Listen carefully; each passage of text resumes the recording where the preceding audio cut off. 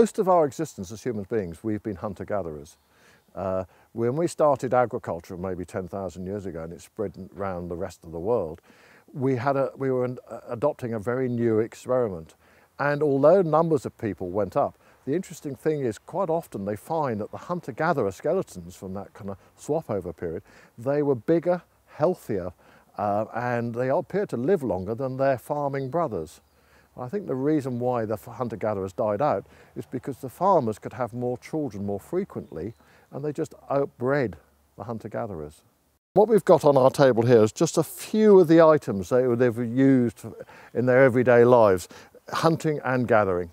Stone or flint, wood, dried fungi, antler, stinger nettle fibre. Flint's a wonderful thing. You can knock bits off it very easily and end up with a razor sharp edge. It will cut through animal hide and leather and everything else very, very efficiently. You can hold it like this and then you can skin and uh, gut and joint an animal with this. You can work wood with this. You can work hide with this. Keep re-knapping the edge to resharpen it. Take that tool, mount it in a piece of wood. They would have had the kind of classic that we all know and this is, I think, is rather attractive. It's a flint-headed axe carved out of a, a Abaca branch, let in a glue made out of pine resin mixed with soot, and then the binding to finish holding it in is made out of either stinging nettle fibre or animal sinew.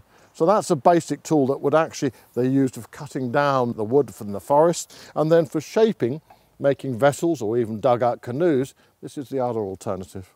And basically, if you look, it's very simple. What you've got is actually the main trunk here of the tree with a branch coming off.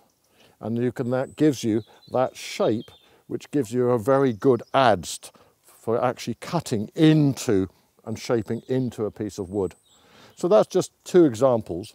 If you get pine resin from a pine tree where it's been leaking out, it goes soft and liquid in heat and then if you add a bit of ground up soot into it, it acts almost like natural fiberglass. The resin is the glue, the fibers in the soot act as the binding, and then what we do to make it stop it being too brittle is add a little bit of beeswax. You can use it as a very effective glue.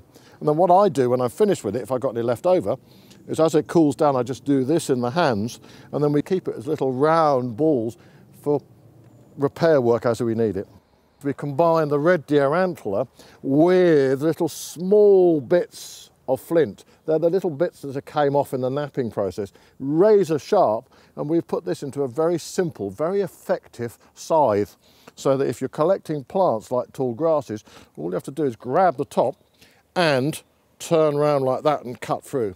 Very, very efficient. We have to be really careful because these edges are so sharp, they're actually sharper than steel edges.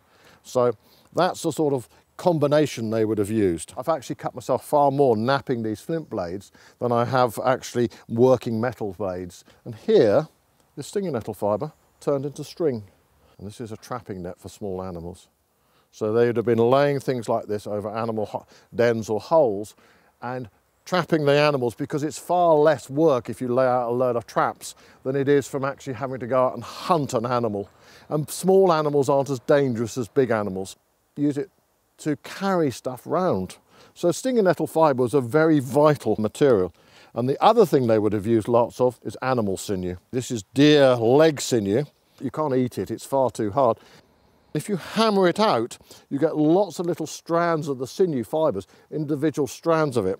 Plait them, and you end up with an incredibly strong fibre. It's the strongest one we've got. They would have made their own clothing. Very small needles that are made out of bone or deer antler. You can put your sinew fibre through and you've got your classic needle and thread.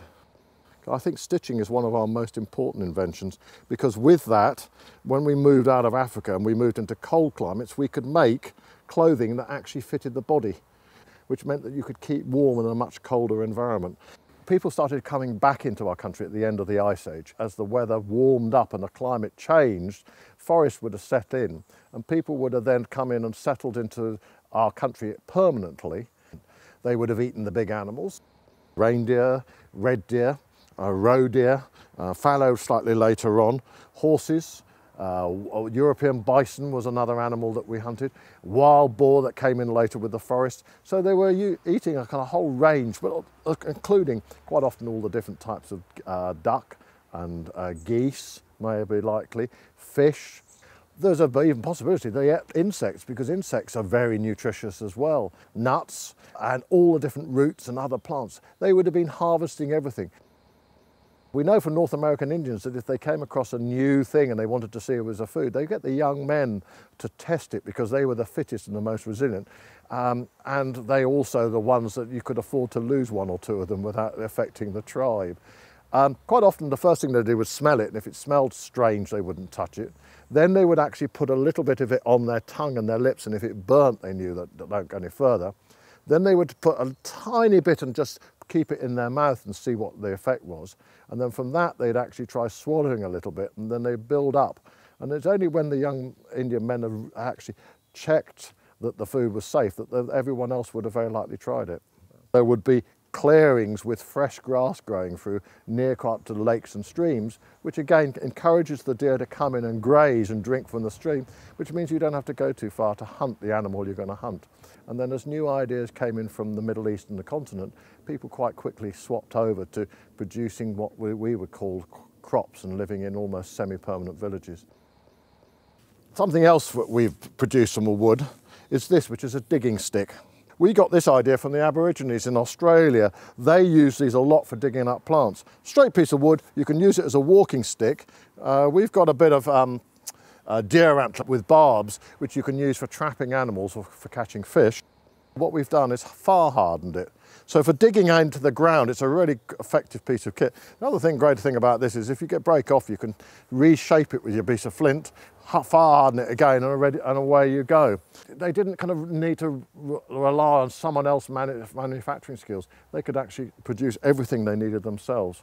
For hunting, spears. The whole thing we've from learned from hunter-gatherers is they had a huge respect for the animal and its spirit.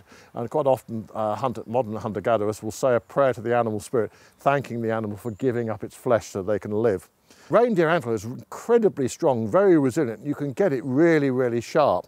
We've got the glue and then the sinew binding holding it on the top. Very simple tool made out of in a woodland setting.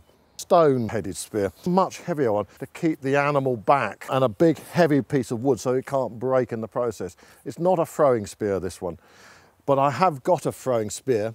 It's much, much lighter, flint blade on the top, and then these two bits of flint down here act as the barbs and they are really, really sharp. Very, very effective way of doing it. What I always say is don't forget that these were the same people as us. We're still basically Stone Age people running around in a modern society. Being pregnant and giving birth and bringing up small children must have been a very, very tough job in those days.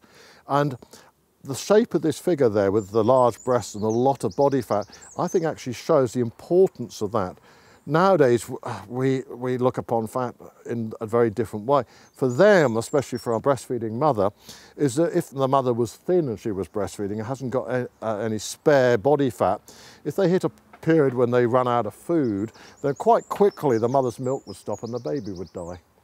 But if the mother's got a lot of body fat, then she's carrying around reserves of food for her, hit a time of hardship and she could carry on feeding the baby and the baby would survive. So that means that tribe has got a higher chance of surviving than a small tribal group where the mums don't put on natural body fat. We've become so dissociated with natural living that we've uh, forgotten how important it is to um, conserve and to look after the natural environment. It's not something you can just leave. It's not a wilderness. It's something that has to be looked after, conserved. If you just take everything um, out of, or one species out of your woodland environment, there's nothing there for it to, to regrow back. Take a little, encourage what's left, and then you've got a regular harvest that you can use year upon year.